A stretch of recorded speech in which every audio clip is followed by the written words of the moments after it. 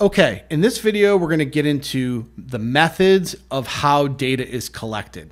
So remember from one of the earlier videos in this series, I talked about quantitative research and now that quantitative research was data that involved numbers that were collected from data that we would measure off of a group of people.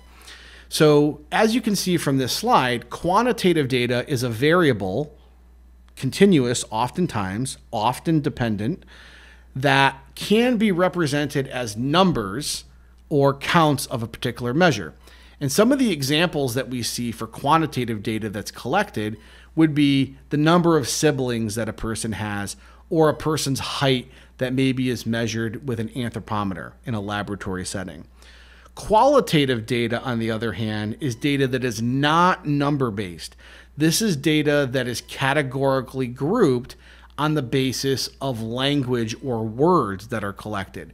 So, for example, if I was to ask you if you have an Apple computer or if you have a Windows computer or if you have an iPad, okay, we would have to be able to have you answer that to me qualitatively based off of the kind of brand of computer that you have. I can't get a number based off of the type of computer you have. You have to tell me with non numeric information what kind of computer you have, and I can get a sense for whether most students in the class are using Macs, PCs, or some other venue.